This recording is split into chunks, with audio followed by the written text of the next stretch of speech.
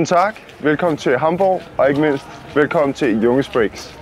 I dag er jeg i Hamburg, og jeg tænkte på, at jeg lige vil gå ned i en, øh, en de lokale pladebutikker og se, om der var noget lækkert. Og se, om de har andet her i Tyskland end uh, Hansi Hinterseer og hitparader. Så uh, jeg har fundet den her butik, som hedder Pure Soul Records Shop. Uh, og lad os prøve at se, hvad der er derinde, og se, om der er noget lækkert og sprødt shit, som vi kan samle.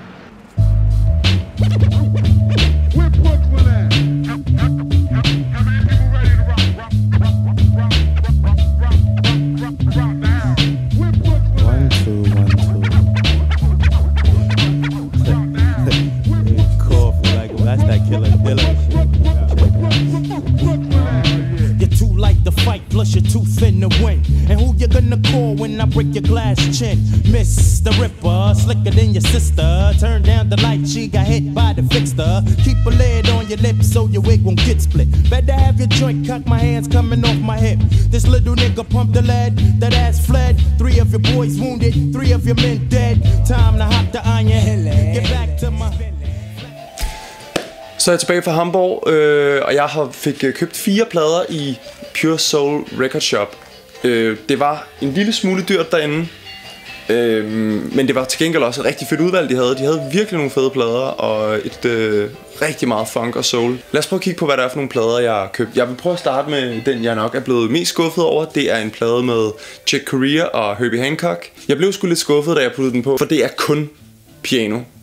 Altså, der er ikke andet. Så og, og det, jeg må indrømme, jeg har ikke rigtig fundet noget på den, som jeg lige tænker, det er fedt det der. Fordi det, det er bare det samme, alt sammen lyder det næsten til. Den er jeg sgu lidt skuffet over, men, men altså, de spiller jo godt, så det kan man så nyde i stedet for.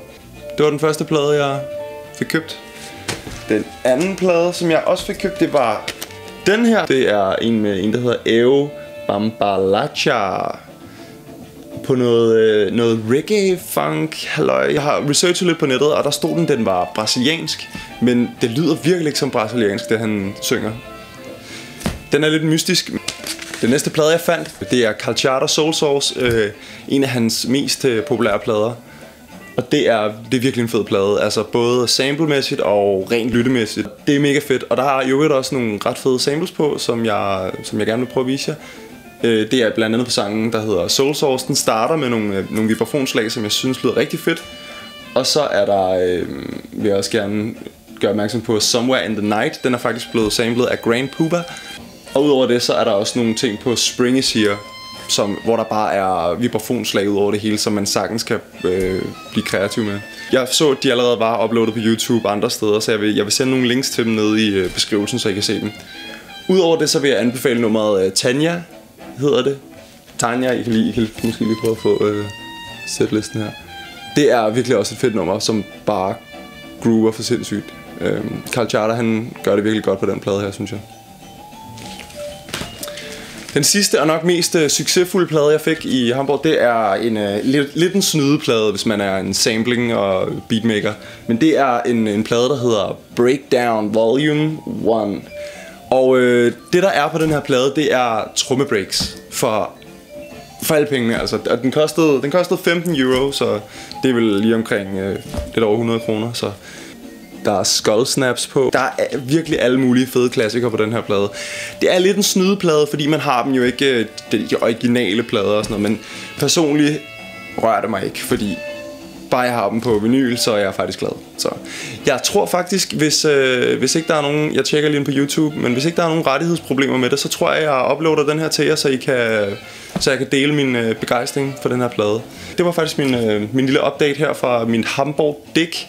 Som sagt, hvis I nogensinde kommer til Hamburg, så drop lige forbi den butik der. Der er altså virkelig nogle, øh, nogle gems. Øh, det er helt sikkert. Ja, det var min lille Hamburg øh, købsvideo her, og I skal selvfølgelig være velkommen til at subscribe, hvis I vil se mere. I skal også være velkommen til at spørge om ting nede i kommentarfeltet, eller bare generelt kommentere, hvis det er det, I har lyst til. Det var alt for Jungens Breaks for den her gang. Øh, jeg håber, I kunne lide det, og vi ses næste gang, og husk nu at finde de fede breaks derude.